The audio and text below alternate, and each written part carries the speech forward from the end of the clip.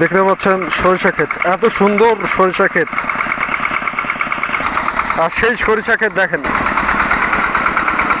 এই সরিষা উঠাই দেওয়ার পরে এখন ধান লাগানো হবে।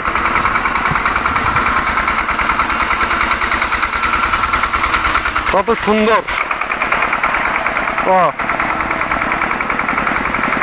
যদিও খারাপ লাগতেছে, আসলে এত সুন্দর সরিষার ক্ষেতটাকে এভাবে নষ্ট করে দিচ্ছে।